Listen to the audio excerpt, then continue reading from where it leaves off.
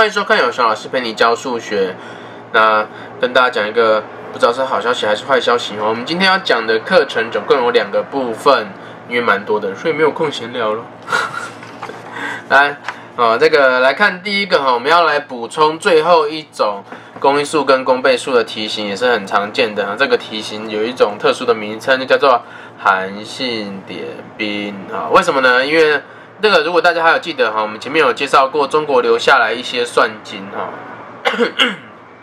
九章算经这一些算经里面，这个韩信点兵就是一个经典的题目。七个一数，十一个一数，十三个一数都多一人，这种题目其实很简单啦。就是如果我把这一人先请他离开一下哈，那他的士兵人数是就是七个一数，十一个一数，十三个一数都能整出。所以它的士兵人数是七跟十一跟十三的最小公倍数多少？啊，这个敏锐一点啊，七跟十一跟十三呢，他们是互质的，所以它们的最小公倍数呢就是乘起来。啊，我们以前刻意的不断的让你们看到过了哈，这三个数乘起来是一零零一啊。那所以它的人数要多过六千哈，所以这个。我们前面有讲过哈，一零零一求出来并不是就是答案啊，因为我要求的是它的公倍数，并不是就是它的最小公倍数，只是呢所有的公倍数都是最小公倍数的倍数哈，所以我们求出来之后要乘到超过六千哈，所以六零零六就超过六千了。那要注意哦，它的士兵人数是多一人的哈，所以请加一，所以它的士兵总共有六零零七个。那在这个问题里面呢，要最小心的就是很多人他会一千零一求出来之后才加一哈。如果你拿一千零一加一变一千零二，然后才发现说哦，它要超过六千乘以六，那变成六零一二，那这样子它去除以七就不是。呃，除以七十一十三哈，就不是余一了，所以它除七十一十三就会余六。那这个道理是显而易见的哈，就是因为你前面余一嘛，所以你在乘六的时候就会乘，把这个余数也乘了六倍，对不对？所以这样子就没有余，最后就不是余一了。所以你这个一要最后加哈。那这是这一题，下一题，类似的题目啦哈，就是有一个 A 哈，他两天上台北一次，B 五天上台北一次哈。C 这个七天去台北一次哈，三个人之前那一次一起在台北是在四月三号，那请问下一次一起在台北的时候是什么时候？所以呢，他们一起出现在台北的这个时间点哈，这个时间的间隔，A 是每两天一个嘛，B 是每五天一个嘛，七是每七天，C 是每七天一个嘛，这就跟我们上一次介绍这个种树和插路灯的这个问题一样哈，所以他们会一起出现的机会哈，就是落在公倍数的时候，好，那因为这三个也互质哈，他们的公倍数是七十，所以每七十天，啊，每七十天会一起到台北一次哈，会同时在台北，那这样子的话呢，这个上一次是四月三号哈，所以。四月三号七十天之后是多少？哈，四月三号，四月是三十天啊，所以扣掉二十七天到三十，再扣三十天，哦，五月是三十一天，再扣三十一天哈，是五月三十一号，所以扣完了还有多少？五十八，十七减五十八，剩下十二，所以是六月十二号。可以吗？下一题也是不错的题目哦。小明等公车的时候玩手机，结果错过公车了。他只记得哈，在八点二十、九点零八、九点四十的时候都有车来，可是他没有搭到。那个结果他一直错过哈。他现在已经十一点啦。那请问下一次他有车的时候最晚是何时？哈，在这一题里面呢，我们看到的数字哈，除了时间以外，还有间隔啦。八点二十到九点四十八，哈，差四十八分钟。好，到九点零八，哈，差四十八分钟。九点零八到九点四十差三十二分钟，对吧？好，那这个发车的时间哈，每几分钟到底会来一班车哈？这个 n 呢，跟四十八呢，跟三十二呢是什么关系？其实应该是这个四十八里面搞不好不止来一班车啊，啊，不止来一班车的话哈，所以它哦，题目其实应该想写详细一点哈，就是这个发车时发车间隔固定的哈。四十八分跟三十二分不一样，因为四十八分里面可能不止来一班车，三十二分里面也不止来一班车嘛，所以每 n 分钟来一班车，这个 n 哈应该是四十八和三十二的公因数啊，所以不用去记每一题到底要算公因数和公倍还是公倍数，但是你在每一题你都要去想清楚啊，所以来这里有一个四十八分钟。好，他记得有模两台，有模有有模两班哈，之间是隔四十八分钟，但是这中间可能隔更多班哈，那又模两班是隔三十二分钟，所以这个发车间隔是他们的公因数，公因数是最大公因数的因数啊，所以我们最大公因数多少？八，十六，十六乘以二哈，十六乘以三。所以呢，这个发车时间的间隔最长是十六分钟有一班，啊，才会让他刚好在这些时间点都看到车。那最短呢？哎，搞不好每分钟都有啊。所以我们来看题目哈，他说下次他有车最晚是何时？所以他的确是要求最大公因数。所以他下一次有车最晚是什么时候？啊，哎，啊，我们要先想想看。过了十一点的时候呢，又要落到这个十六分钟的倍数哈。他上最后一次他记得有车是九点四十，所以九点四十到十一点，其实差了啊二十分钟又一个小时哈，所以是八十分钟，对不对？好，嗯。二十分钟有一个小时，对，八十分钟。那每六十分钟有一班哈，所以如果他十一点这一班没有搭到哈，他假设他题目这样讲的，大概就是他十一点半这班没搭到嘛，所以下一次搭到的是十一点再过十六分，最晚哈，最久只要再等十六分而已，所以是十一点十六。好，你要去分析这件事情，因为他搞不好这里是没有整除的哈。那你就要知道说，就像我们前面这个超过六千的那个数是多少，好，所以我们要把超过十一点的那个倍数给找到哈，所以这是这一题，可以吗？如果今天他题目写的是啊，已经十一点半了，假设哈，假设已经十一点半了，啊，那这个这里就不八十分了哈，是一百一十分。对不对？一百一十分的，那你就要去找这个十六超过一百一十的倍数是多少？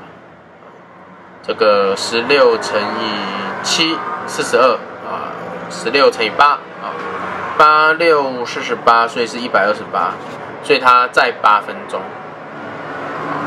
哎，在哦，超过一百一啊，七一七啊，那七就可以了。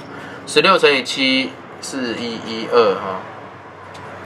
对，那现在已经是九点四十之后一百一十分了，所以它其实在两分钟就有车了。那它就是在十一点十一点三十二分就有车哈，就是在两分钟之后。所以你要去找出这个间隔哈，然后要找超过这一个十超过这个一百一的十六的倍数，在这一题里面，可以吗？好。甲工作三天休一天哈，乙工作四天休一天，这个跟刚才那个上台北的题目好像是一样的哈。但是为什么还要另外讲？就是它有一个很大，有一个不大的啦，没有很大啦，有一个不大的差别啦。工作三天休一天，工作四天休一天。下次他们一起休息的时候，并不是拿三跟四去取公倍数啊，不是，为什么？因为工作三天休一天，其实多久会休一次？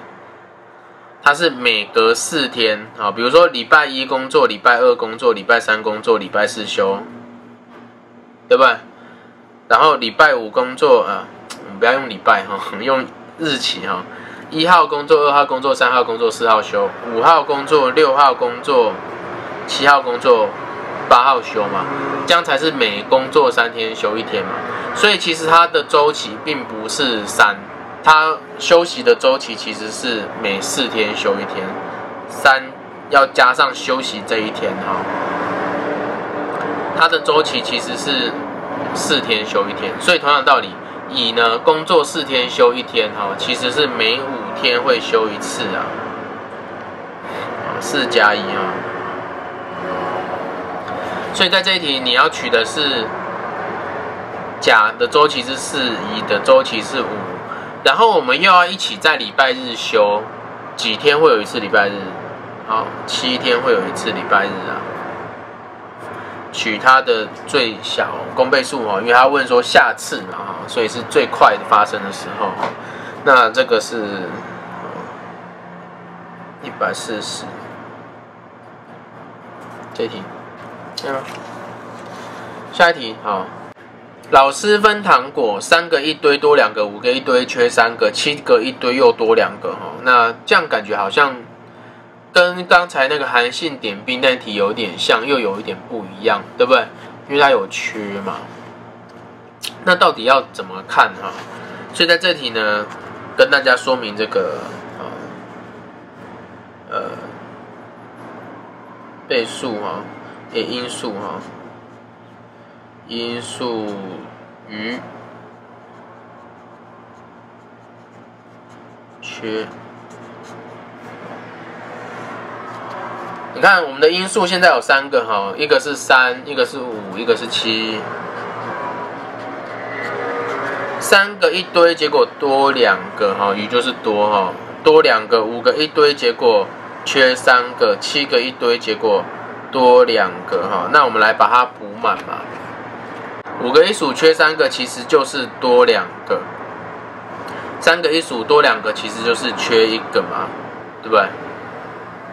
好，那个七个一数哈，多多两个，其实就是缺五个哈。所以在这一题里面呢，他们一样都是多两个，有的时候是多的部分不一样哦，结果是缺的部分一样。那它的算法跟刚才一样嘛？我们刚才有多的话，就是先把它扣掉嘛。先想象它被扣掉了，取完公倍数之后，记得把那个数加回来。如果是缺的话呢，就想象把它补起来哈。那取完公倍数之后呢，再把它这个缺的部分扣掉，这样子。来，所以这题哈，其实就是找三五七四一零五啊，一零五的倍数多于八百少于一千，嗯，乘以八。八四零乘以九的话是啊九四五啊，但是要多两个嘛，就是八四或九四七哦。如果你发现它缺的是一样的，比如说他们假如说全部都缺一个好了，那你就是算一样算出来之后，再把缺的那个扣掉，所以是会变成八三九和九四三这样子。看下一题。操场一圈是一千两百哈，那小明他是每分钟跑六十公尺，所以小明几分钟跑完一圈？啊，所以小明其实是四十啊二十分钟跑完一圈啊。小光是每分钟跑四十公尺，所以他是三十分钟跑完一圈。好，一个绕跑完一圈就是绕回司令台嘛，所以一个每。二十分钟会出现在司令台一次，一个是每三十分钟会出现在司令台一次，啊，所以他们同时出现在司令台的时候，就是二十跟三十的最小公倍数是六十，可以吗？也就是在六十分钟之后，他们会一起出现在司令台，可以吗？这是这题哈，所以要记得不是直接把六十跟四十就拿来算了啊，是。因为小明每我们这个要同时出现在司令台，你要先去想这件事情。同时出现在司令台哈，每六十分每分钟跑六十公尺，其实是每二十分钟跑一圈，也就是每二十分钟出现在司令台一次啊。这个小光是每三十分钟出现在司令台一次哈，所以是拿三十跟二十取最小公倍数。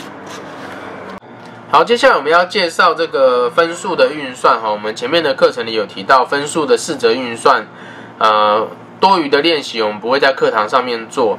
那大家在学校里哈都有机会在练习。我们只提两件事情哦，一个是你在通分的时候呢，比如说这个啊六分之二加上八分之三哈，然后我们以前国小的时候可能会要你把六乘八。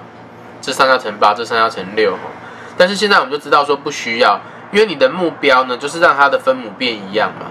六乘上某个数可以变这个分母，八乘上某个数可以变成这个分母，所以其实这个分母抓它们的公倍数就好了，对不对？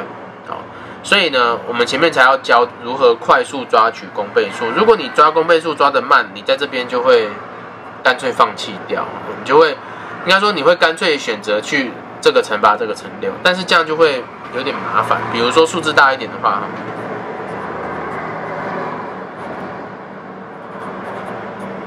那这样怎么办？对不对？这个乘三十六，这个乘二十四，哇塞，那要算到什么时候？对不对？好，来看这题。所以呢，六跟八的最小公倍数哈，你如果提二的话，这个剩三，这个剩四啦。所以你直接把二乘四就是八嘛，再乘这个三哈，二十四。所以它上下同乘四，就是同乘它的嘛，它上下同乘它的三啊，所以是八加九，这就答案，可以吗？好，来看这一题哈，所以其实二十四跟三十六哈，所以这个对数字敏锐度高一点的话，他们可以同提十二出来，这个生二，这个生三嘛，所以呢，它乘三，它乘二哈，都会是七十二。三减二，所以是七十二分之一啊。所以你看，你如果对这个公诶因数倍数抓的不够快的话，哈，在这边你就会遇到困难。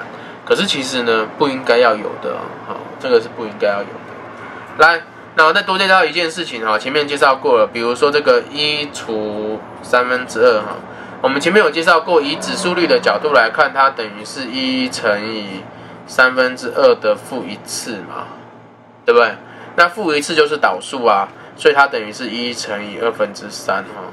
那这个其实除一个分数等于乘它的导数，这个国小应该有学过，所以我们只是额外提一下那么在这里呢，我们主要要多教的是哈两两个知识哈。第一个有关于分数乘了一个数字变成整数这件事情哦，这个也很容易出现在题目里面。四分之三哈乘以 a 是整数，那如果这个 a 本身也是整数，请问 a 最小是多少？那 a 最小的情况下就是把它的分母杀掉嘛，就是所以 a 最小的时候是四，这应该算简单吧？那如果今天 a 不限定是整数，也就它可以是分数，它问的是最小 a 哈，那 a 还可以比四更小，为什么呢？因为你四分之三哈乘以四之后是三嘛。我可以不要那么大，对不对？如果我把这个三也不要嘞，也就是说我四分之三乘完四之后，让它刚好是最小那个整数，就是啊一啦哈，我不讲零啊，因为你没有办法除了乘零之外没办法变零哈，所以你乘了 a 之后哈，如果是要那个非零的哈最小整数的话哈，那我们 a 要大于零哈，如果你要这个好 a 要是最小的哈，乘一个非零的整数的话呢？那让它变成一四分之三乘什么会变成一？好，我们前面学过了嘛，导数就是相乘会等于一哈，所以到这个 a 呢其实是三分之四，它比四还小，对不对？因为我把这个三也除掉了。用这种精神来看下面这一题哈，四分之十五乘 a 跟六分之三十五乘 a 都会变整数。如果今天要求的这个 a 本身是整数的话，那代表 a 到时候会把这个分母都约掉哈，所以 a 本身是四和六的最小公倍数，也就是十二。如果今天要求的是这个最小 a，也就是我没有一定要整数，当然这个 a 还是要大于零哈。那这样这个 a 是多少呢？来，大家把这个问题哈，最好是这两个问题啊，都抄在你的本子上啊。其实我们上过的题型你都可以抄啊，对，只是看你自己觉得什么是有必要一定要回来看的。那我有提到的，你最好都抄起来。这两个问题啊，来，我们来看一下哈。那如果你抄好的话哈，这个我们今天这个 a 呢，刚才有提到，我的分母一定要约掉。四分之十五，嗯，我们写在纸上啊，写大一点。四分之十五，还有一个是六分之三十五啊，这两个都要 a 这个分数哈，都要。我们刚刚已经说最小整数是十二嘛，所以要更小就是要分数啊。这个分数都要能够把四跟六约掉，也就是说它在分子的部分呢，要是四的倍数。才可以把六四约掉嘛？要是六的倍数，才可以把六约掉嘛？那要尽量的小一点哈，要尽量的小一点，也就是你的这个分母，以刚才这个想法哈，就是我们分不只是它上面是四的倍数，我分母还要有，然后分母越大它就越小，对不对？可是呢，如果分母比如说假如说是七好了，那到时候你就没有办法变整数了。因为它没有办法约掉它，所以这个分母必须要被十五约掉，所以分母的部分必须要是十五的因数，也要是三十五的因数，对不对？所以说呢，这两个合起来哈，所以说它的分子必须要是四和六的公倍数，它的分母必须要是十五和三十五的公因数。然后这个数字要尽量小，所以分子要尽量小，分母要尽量大。所以呢，啊，它的分子其实是四和六的最小公倍数，而分母是十五和三十五的最大公因数。它一定要是十五跟三十五的因数啊，要不然的话，没有你约完了之后，这里还有剩，就不会变整数了。所以这个是这种题目哈。就是分子是它的分子会是这两个分数的分母的最小公倍数，而它的分母呢，啊，是这两个分数的分子的最大公因数，不用背哈，那是要懂得怎么想，好不好？所以在这一题呢，这个多少？十二，这个是五分之十二。这就是我们要教的第一种啊，这个有关分数的计算哈应用。第二种来看这里哈，有一个分数十二分之 x，那它比三分之十一小，比三分之十四啊，它比三分之十一大，比三分之十四小。求这个 x 哈，x 要大于呃，一定会大于零哦。那求这个整数的 x 的个数。另外一个问题哈，如果今天这个十二分之 x 本身是最简的，那请问这样子这个 x 是多少？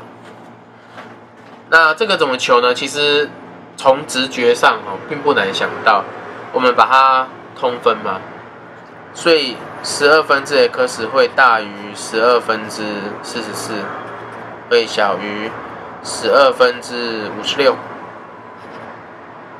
啊，那。分母一样哈，所以在这里教一件事情哈，分母一样的时候，分子当然是这个越小的越小，越大的越大哈。这好像是废话，不过记住这句话哈，挺实用的。分母一样哈，分子越小的越小，分子越大的越大，所以 x 刚好被夹在它们中间。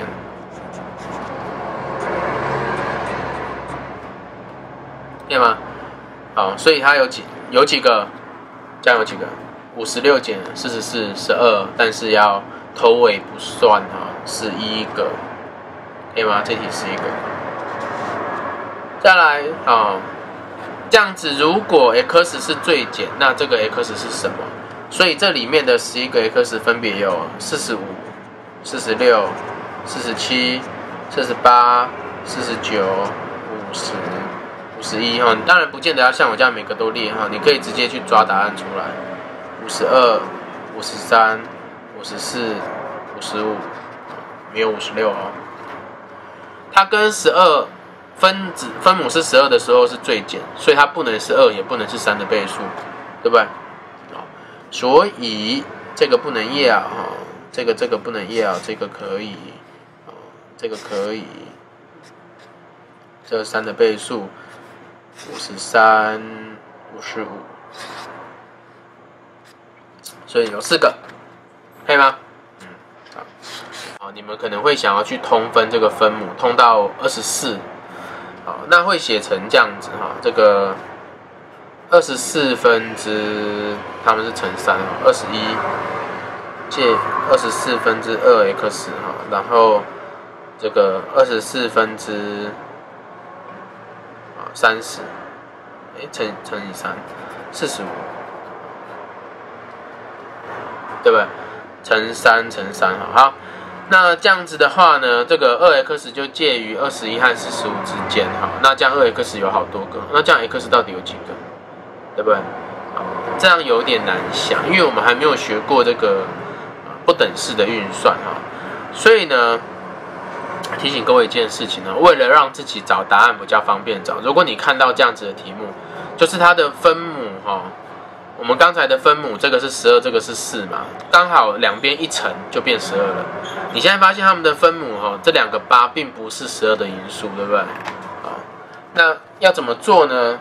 好，确定一件事情，就是我的这个 x 系数要是一，所以我硬是要把八这个分数哈，八分之七跟八分之五，硬是要把它变成十二的分，十二当分母。我们都习惯整分子哈分一个分数的分子跟分母都是整数哈，可是其实不一定要。所以今天我这个八分之七呢，它是二十四分之啊乘三嘛，对不对？二十一哈，我硬是要把它变成十二当分母，是它是十二，所以我分子分母同除二，它是十二分之十点五，对不对？然后这边。八分之十五，它是二十四分之四十五。我硬是要把它变成十二分之分子分母除二，是二十二点五。好，那这样我就抓到 x 的范围了，对不对？所以 x 哈会比二十二点五小，会比十点五大。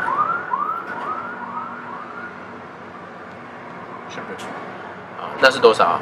从十一到二十二，所以有几个？哦，我刚刚从我刚讲从十一到二十二，本身十一跟二十二都算哈，所以二十二减十一是十一加一哈，所以总共有十二个。